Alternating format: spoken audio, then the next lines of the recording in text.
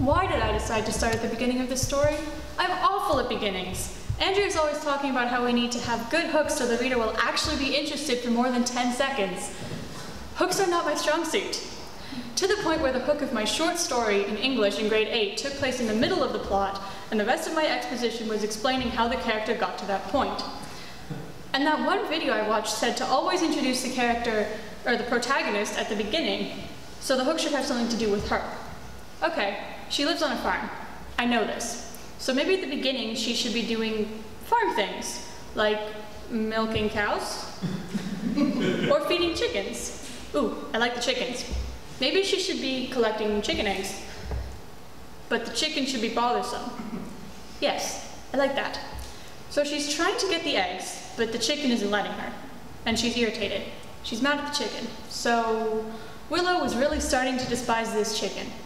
Little did I know, that was more than the beginning of the story. It was also the beginning of one of the most grueling things I've ever done. Hi, I'm Ailsa Ross, and welcome to my Masterworks presentation, To Write or Not to Write, exploring the process of writing a fantasy novella. For as long as I can remember, I've loved stories. In fact, I loved the stories my parents were reading to me at bedtime so much that I got so good at reading on my own just so that I could read the stories on my own. Now, anyone who knows me at all has probably seen me sitting somewhere in a position that looks like it shouldn't be comfortable but somehow is, with a 400 to 800 page book in my hands. but just reading the stories was never really enough for me, and from a young age, I wanted to create my own. As an only child, I spent a lot of my time before kindergarten coming up with stories in which I was the main character, then proceeded to act them out with my imaginary friends. That started happening less frequently once I started going to big kid school, but by then I was already getting better at something else, writing. I wrote my first story when I was five years old, and I have absolutely no memory whatsoever what it was about. All I know is that it was approximately one page long, double-spaced, except it was written in a kindergartner's handwriting on a piece of paper that I have since lost, so really I have no idea. I've been writing things ever since, and now, 10 years later, the novella I wrote for my Masterworks project is sitting at 32,642 words and 57 pages, single-spaced in size 11 font.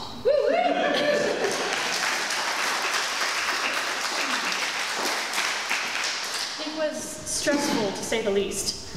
But now that I've done it, when I decide to do it again, writing a book will be a piece of cake. Except the cake is in Wonderland, and it makes you shrink, and suddenly you're surrounded by this thing called plot that's wondering when you'll actually get around to creating it. Today, I will talk about plot and its relation to the genre of the story, world building, character building, my own experience with all of that, and my quest to actually write a novella. I'm sure we're all familiar with this, the plot structure mountain. It's the thing that every English teacher ever shows to their class when studying the creative writing unit. In fact, this project in itself follows the plot mountain rather well. The topic selection and initial research is the exposition, the character and world building, plot creation, and main body of writing is the rising action. Finishing the paper, the, finishing the first draft of the novella is the climax. Editing, finishing the paper, writing a script, and making the Google Slides is the falling action, and this presentation is the resolution. Of course, plot isn't just some universal thing where every story has an equal amount of exposition, rising action, climax, falling action, or resolution. Some stories don't have much in the way of an exposition at all, and just lay you right into what's happening. Personally, I think that's a bit abrupt, despite the fact that I myself am guilty of doing this to avoid writing introductions. Other stories don't have a lot of falling action, and the resolution happens almost immediately after the climax. Another variable is the genre of the story. The genre can have a direct effect on how much of each part of the plot there is. For instance, in a mystery story, there's usually an exposition where something is stolen or someone is killed, rising action where the de detective finds clues, the climax the detective catches the criminal, and the falling action and resolution where the crim criminal is arrested and all is once again right in the community. In fantasy, however, it's a bit different. In many of the fantasy stories, and a few sci-fi stories as well, the exposition is a dangerous event that sends a seemingly ordinary young protagonist on a quest to a certain place to meet a wise mentor figure. In the rising action, the wise mentor figure reveals that the protagonist is or will be special and is important to the fate of the world, the young protagonist then goes on a much longer journey than initially anticipated. Is this sounding familiar? they usually have a best friend and or sidekick with them, without whom the protagonist wouldn't have survived or been able to take down the main antagonist. Also, the wise mentor figure usually dies, and another character who was presumed dead is revealed to either not be dead, or is brought back to life, or visits the protagonist from the afterlife. Did I just describe Lord of the Rings, Star Wars, or Harry Potter? Realize until I was 8,000 words in and halfway through my research is that my own plot follows a similar pattern, though without the death of the wise mentor figure and the great reveal of a previously dead character no longer being dead. Everyone who died in my story stayed very much not alive. In the exposition of my story, the seemingly young protagonist leaves her home because her brother was evil and attacked them. Along with her friends, she goes to a village during the Rising action, where she meets the wise mentor figure who reveals that she's the most powerful magic user in the world and only she can defeat the main antagonist. She and her friend then go on a road trip across the world, except on foot instead of in a car, and defeat the bad guy. This becomes the climax. The friend saves the main protagonist's life more than once. That's all well and good, but there's no use having a story if you don't have a world for it to take place in. Some fantasy stories, like Harry Potter, take place in our world but with fantasy elements like magic, dragons, unicorns, etc., that set it apart from realistic fiction. Other fantasy stories take place in a world that's completely separate from ours. The most obvious example of this being Lord of the Rings, which takes place in Middle-earth, a world of Tolkien's own imagining. There are a lot of things to consider when creating a world, such as geography, civilizations, government and economics, religion, technology, language, and magic. However, the author is usually the only person who knows all of this, because most of it doesn't end up in the final draft of the story. In fact, arguably, you don't even have to worry about some of it, simply because it's just not in the story at all. When creating the world that my story takes place in, there's a lot of things I overlooked in favor of dealing with what was relevant to the plot. This means that my world doesn't have much in the way of a government, it has an underdeveloped magic system, a glossed over religion, and a general lack of people. On the one hand, that could be considered lazy. On the other hand, it leaves me open it leaves it open for me to possibly develop all of that further in a sequel. Depending on how you look at it and how you tend to work as a person, world building can either be the most time-consuming part of writing a story, or it can be the most rushed part. You can't just finesse your way through creating your characters. You can have a brilliant, enthralling story and no one will read it because your characters aren't believable, interesting, or relatable. One of the most common pieces of writing advice is to write what you know.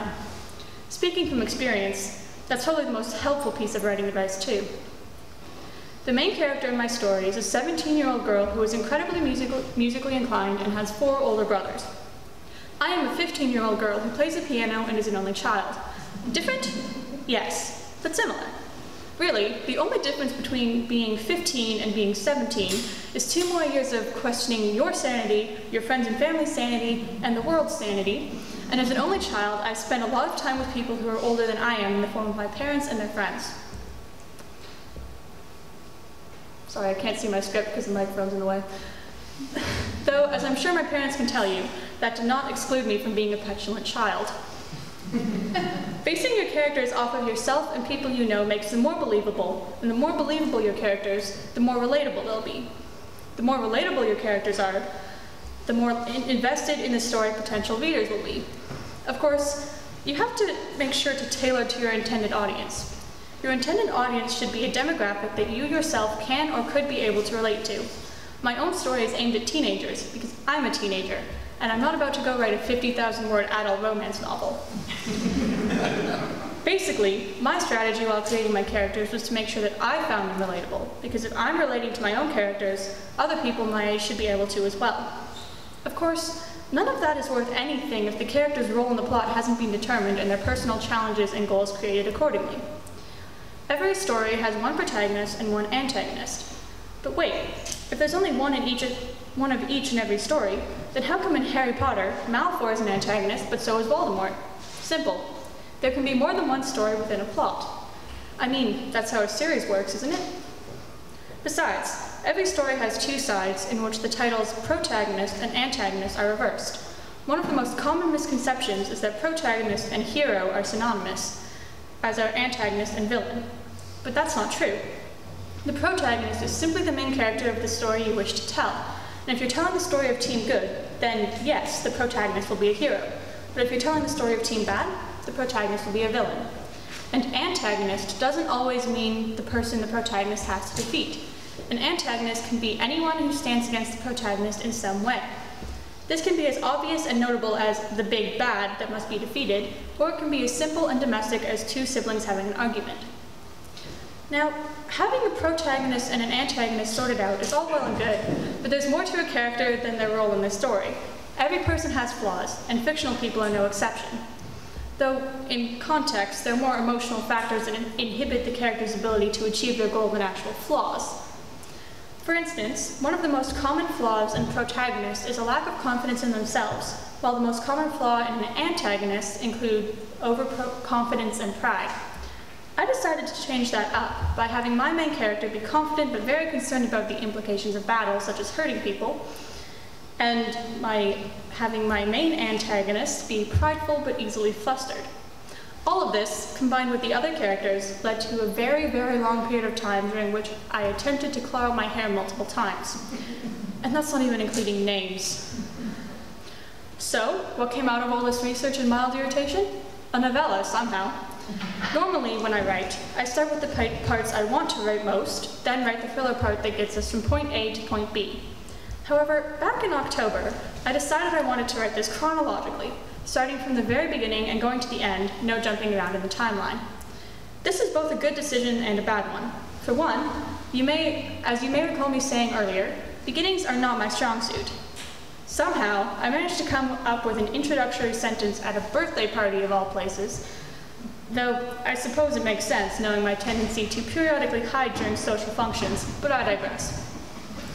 What ensued was a long, exhausting, slightly maddening endeavor that resulted in multiple urges to throw my Chromebook across the room. Naturally, once I had an introduction, I needed to actually come up with names for everyone other than the main character. Now, I am notoriously bad at coming up with names, both for characters and stories and essays. In fact, the title of my novella actually was the result of the collective genius of me, Andrea, and Tegan. This led to me picking themes for each group of people involved in my story. The main character and her family were tree-themed, the other important family was fire-themed, the village they all lived in was music-themed, and the bad guys were just, well, bad-themed. With that in mind, I then proceeded to pick words related to each of those themes and put them into Google Translate until I found something I liked. The result of this was the English translation of the main character's older brother's name being Sage Leaf Tree. Eloquent, I know. Once I'd sorted out everyone's names, I could proceed with the actual writing. For a while, everything seemed to be okay, and then it hit, the first bout of writer's block. I quickly discovered that the writer's block was tied to my lack of motivation for writing that segment of the plot, and created a writer's block document accordingly. Initially, my writer's block document only had a few short snippets of random ideas that were completely unrelated to my Masterworks project, but that changed alarmingly quickly. I soon had fully written out short stories that had nothing to do with what I was supposed to be doing. That document is sitting at a word count of 45,928. Fortunately, the writer's block didn't last forever, and I soon got back into the rhythm of things. Then I decided I wanted a romantic subplot. I am quite possibly the worst person to be writing romance, as I personally have yet to be interested in it. Not only that, but I'm spectac spectacularly oblivious when it comes to seeing it around me. Honestly, two of my best friends could start dating, and I'd be standing there thinking, wait, they were in love? and yet here we are, a romantic subplot completed and hopefully believable. According to my friend, the fact that both people involved were too busy thinking the other hated them to notice that they were mutually pining for each other is, is very realistic, so I think I did okay. Going back to what I said earlier, it's always best to write about what you know. If that means playful banter and interactions between the protagonists, then that, that means playful banter and interactions between the protagonists. For instance, what do you mean Sage is your brother? Leaf had gotten back on the horse, though his voice had risen an octave. What do you think I mean? He's my brother. There's only so many things I could possibly be implying, Willow said snarkily. Anyway, why did you two hate each other? Uh, it's complicated. And I'd rather not talk about it with my childhood nemesis' sister. No offense, Leaf said, regaining his composure. On an unrelated note, the village is to the north. You're going west. I was going north earlier. Well, you're not now. Turn right. No, no, no, your other right. These woods can be a little, um, confusing. Uh, you know what? Let me drive the horse. I know where I'm going. Willow made a face, repeating Leaf's words in a mocking tone, but she slid off the horse anyway, then climbed back on after Leaf shimmied forward and took the reins, which weren't actually reins as they were riding bareback, and were actually just two strands of the horse's mane. You know, you could have just told me if I was going the wrong way, she snapped. You didn't have to revoke my driving rights. Leaf snorted. Right, because you didn't just hit, almost hit a tree a minute ago. Face it, kid, you're from open fields. I can tell. You smell like grass. Trees on your turf. I. How the hell do you know what I smell like? I've been sitting behind you for the last 20 minutes. I think I know what you smell like. Willow didn't have an adequate response to that, so she resorted to the I'm an annoying little sister strategy, proceeding to poke Leaf all over his back. After about 15 minutes of this, Leaf had had enough. He elbowed her in the stomach. Hey, she muttered. Huh, you're the one who's been poking me for more than 10 minutes. I think retaliation is allowed. Ugh, is this what my sister would have been like if she hadn't been kidnapped? Yes. You suck, you know that? Yes. Willow went back to poking him. Leaf just sighed. This was, of course, inspired by interactions I've witnessed between my friends and their younger siblings. But writing based on witnessed interactions is one thing, writing based on personal experience is another. Something I've noticed by going back and editing is that Leaf's personality is alarmingly similar to my own. This was completely unintentional, but there is another scene involving Willow and Leaf that's based on a conversation I had with my dad, in which where I tried to explain to him how to read sheet music. It did not go well. In the scene with Willow and Leaf, they're talking about first violins, second violins, and violas, but it's the same basic scenario. The music hall was clearly the most extravagant building in the entire village. It was separated into sections based on the instruments in each section. Surprisingly, the, the, they were the only ones in the music hall, leaving them free to take in the organized piles of instruments. Leaf took Willow on a tour, pointing out each section, what was in it, and why. She was finding it difficult to wrap her head around why the first violins and second violins were in the same section, but separated by the violas. As far as she was concerned, they could be generalized as violins and slightly larger violins. Leaf did not seem bothered by this, however, and when she asked why they were organized like this, he said, well, it's obvious. The first violins play different melodies than the second violins. Needless to say, Willow was unimpressed with this answer. I don't think I even realized at the time I was writing it that it was based on that conversation I had with my dad, though thinking on it now, it's very obvious to me. Of course, I've always been a very fact-driven person when it comes to the real world, and since the quarantine started, lately that's been applying to movies as well. The number of Arnold Schwarzenegger films we've watched in the last three months that have no concept of physics at all is astounding. but that's irrelevant. What is relevant, however, is the fact that my appreciation of logic and common sense was not lost in my writing, and I think that's well reflected in the scene where Willow has been captured by the main antagonist. Willow woke in a cold sweat. She was sitting in a chair in a cold, plain room. The walls were dull stone, with flickering torches mounted every three feet or so, filling the room with the stifling atmosphere of smoke and oil. Her wrists were tied to the arms of the chair and her ankles to its legs. So, the voice came from behind her, you're finally awake. Willow said nothing as the owner of the voice came into view. It was a man, maybe a few years older than Sage, with messy brown hair, olive skin, and a malicious grin. You're a very hard person to catch, Willow, he said, crossing his arms. It's almost like you've been avoiding me. I'm hurt, truly. Sorry, do I know you? Willow asked. I mean, you clearly know me. Have we met before? I feel like I've seen you somewhere before. The man stepped closer to her. You have. You were six years old at the time. I'd be surprised if you remember much of it. It's rude of me to presume you'd recognize me. He bowed mockingly. Valkyrie Vesaliah, at your service. You're kidding me, Willow snorted. You're the guy who's been hunting me? The guy who burned the village to the ground 11 years ago and has two massive fortresses? Forgive me for not being more afraid, but, well, frankly, you're not very intimidating. Valkyrie scowled. Rude, but true. You know what? Screw you. I don't care if you're afraid of me or not. Admit it, your ego is wounded. It most certainly is not. Willow snorted again. Yeah, right. You know, for a guy who supposedly wants me dead, you've done a dreadful job of killing me. Well, I can't just kill you, Valkyrie said, as though this were obvious. There's a ritual. A ritual, she deadpanned. What are you going to do, sacrifice me to the ancient gods? I'm sure that'll go over well. Valkyrie rolled his eyes. I'm not sacrificing you to the ancient gods, he snapped. Ever heard of blood magic? No, honestly, didn't think so. Blood magic is generally frowned upon due to its tendency to go horribly wrong. So, what, you need my blood for something? Why on earth would you need my blood, or anyone's for that matter? You're more powerful than any other magic user in the entire world. Your blood is the key to exploit that power, Valkyrie explained. The blood magic ritual, should it be successful, will transfer your power to me. Willow rolled her eyes. Three things. One, there's no guarantee your stupid ritual thing will actually work. Two, you're an idiot if you think my brothers won't be coming for me. They're a bit overprotective. Finally, you're monologuing. I am not. You are. Ugh, you are the singularly most infuriating person I've ever met, and that includes your damn brother. I'll take that as a compliment. Out of curiosity, which brother are you referring to? The tallest one. On second thought, I'm insulted. He is way more infuriating than I am. Throwing his hands into the air helplessly, Valkyrie spun on his heels and marched out the door, slamming it behind him. As soon as he was gone, Willow's composure failed and she dissolved into a fit of giggles.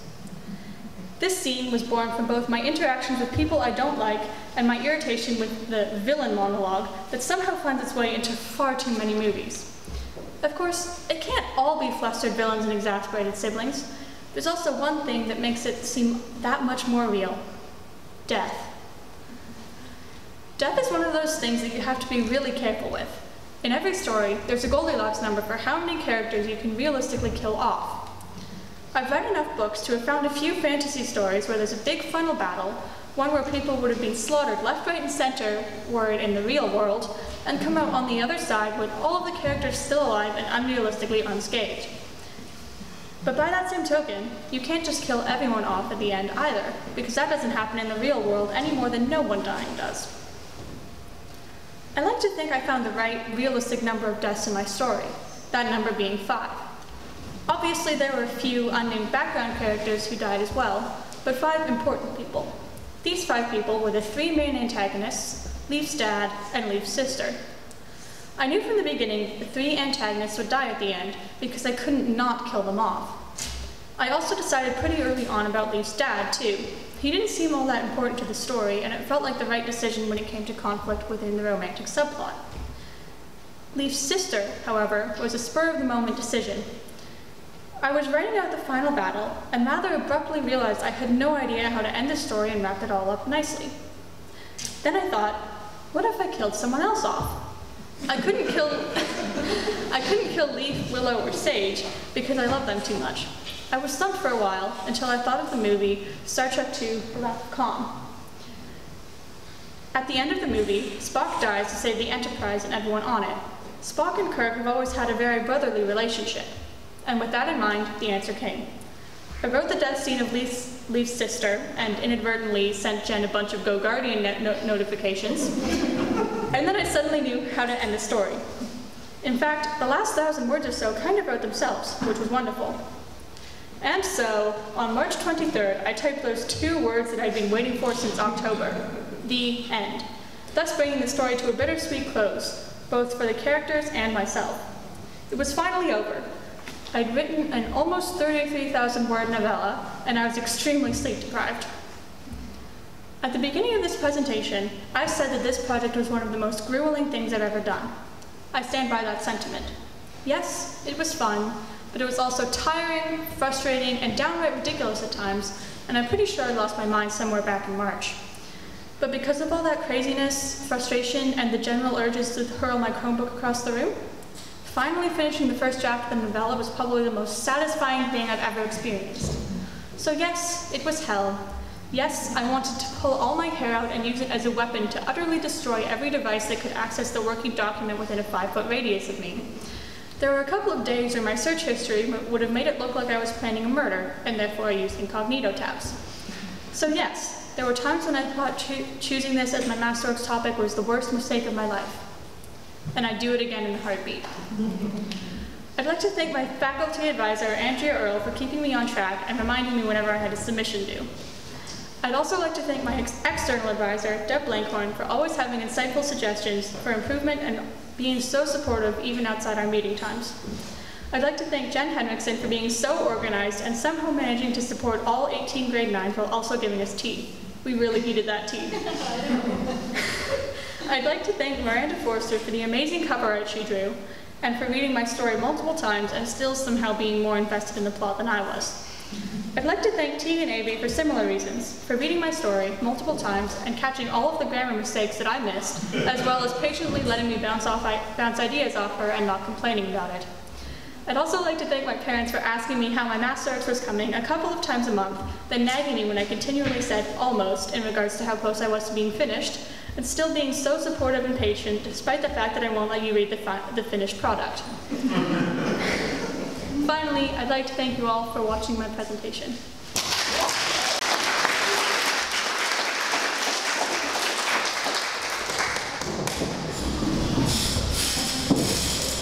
Ms. Ross, well done. That was so great. And I know this process has been a long one, and I'm glad you would do it again. so we're going to go to questions from your audience now, starting with your faculty advisor.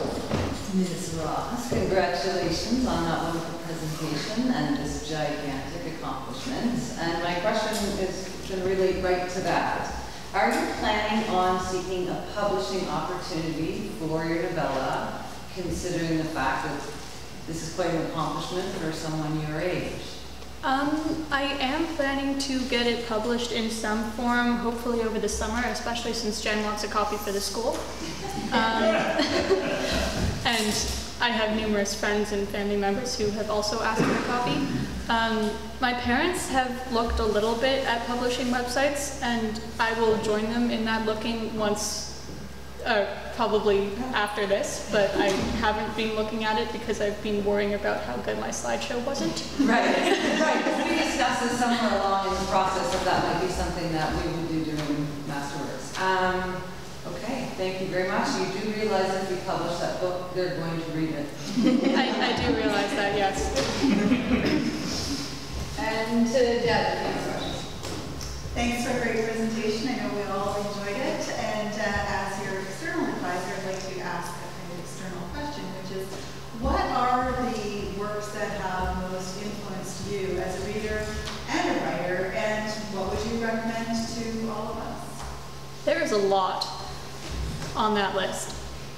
Um, I somehow managed to read The Lord of the Rings when I was in grade three. It took me all year, um, and I love it more as a movie than as a book because the books are hard to get through um, which is something that I took when I kept in mind while I was writing my own story.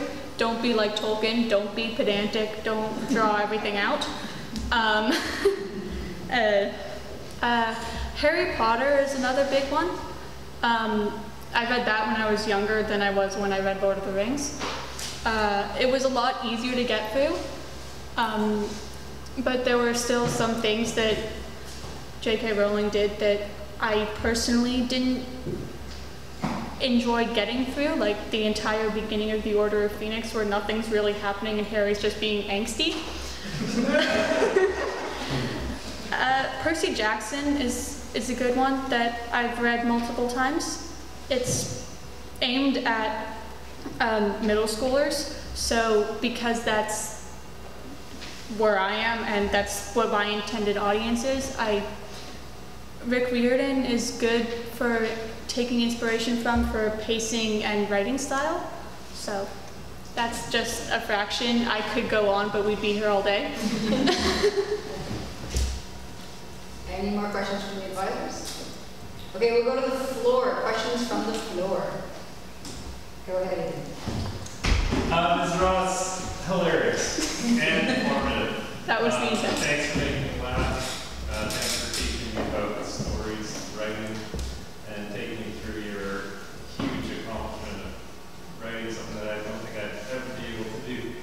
Um, I've studied history, as you might know, uh, and I came across a long time ago about the hero Now how the hero always has these things, like all their parents, all their parents die and stuff. And this seems to happen in all our stories. Why is that? Why do heroes lose their parents dead? My own hero doesn't have parents. Uh, mostly because I couldn't figure out how to work them into the story. Um, that could be a reason, actually. The, the writers of the stories didn't know how to fit the parents in, so they just killed them.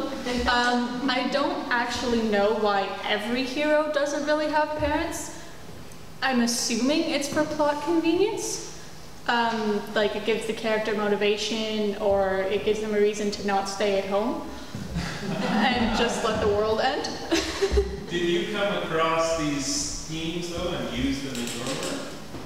Um, now that I think about it, yes. Although I didn't notice it at the time.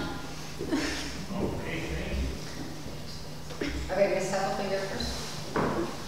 Ms. Ross, I have a little bit of a, a weird question.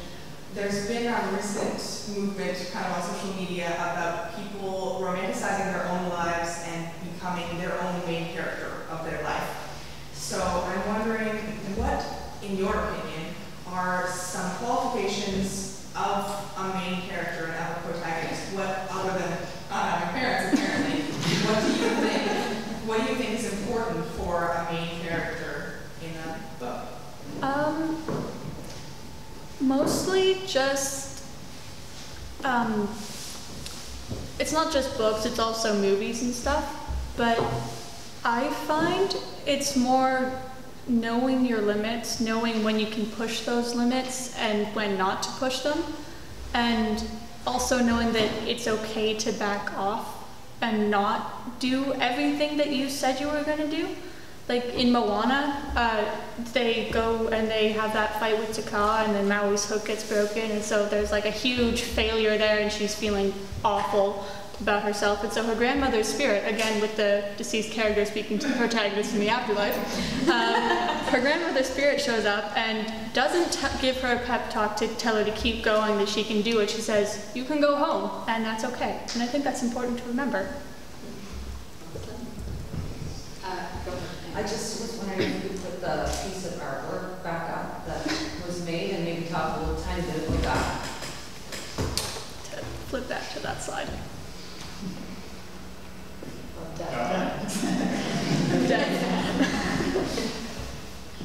Um, yeah. So my friend Miranda has always been very artistically inclined, and um, we've known each other for years. And so when in one of our meetings, I think it was Deb threw it out, possibly getting cover art done. I'm like, ooh, Miranda can do that, and she did not disappoint. Yay, Miranda!